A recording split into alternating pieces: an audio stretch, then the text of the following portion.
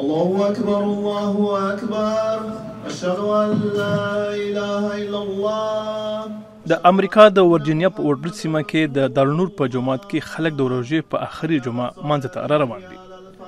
د جماعت امام طیب فریغي چې یو افغان ځوان دی وایي چې دلته د جمعې درې جمعې کیږي او په روژه کې د خلکو بیروبار نور هم زیات وي فعالیت های زیاد ایجا داریم موږ دلته د روژې په میاشت کې ځانګړي پروګرامونه لرو چې ټول مسلمانان هغه که مشران وي که کشران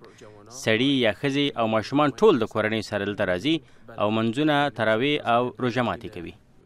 د اورډبرج نه علاوه افغانان په ورجینیا ایالت کې په سپرینګفیلډ سیمه کې د مدینه جومات ته هم ورځي چې هلته هم د جومات مهتمم یو افغان ښاغلی جمال کاکړ دی جمال کاکړ وایي چې دوی دلته په روژه کې د تراوو ختم او د تهجد منځونو اهتمام هم کوي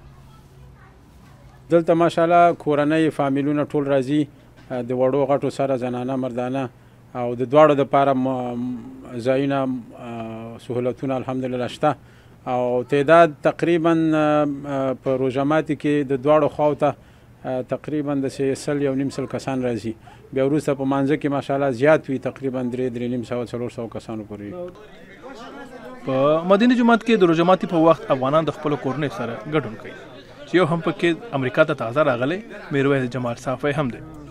هغه وایي، موږ د راتګ نه مخکې تشویش درلودو چې دلته به روژه او نور عبادتونه څنګه کوو، خو اوس ډېر راحت احساسوو. زما به دا مسج وي چې موږ کله په افغانستان کې وو، نو افغانستان کې به اکثره یا د ولایت په سر او یا د قوم په سر باندې خبره کېدله، اما دلته الحمدالله مسلمانان د مختلفو ملکونو نه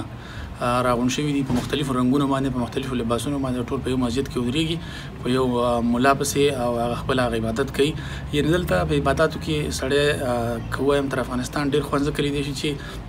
وګوري چې بهرنی محیط یو شان او دنه د مسجد محیط بل رقم یو هغه محیط خامخا یو ځانګړی لذت یو مزه لري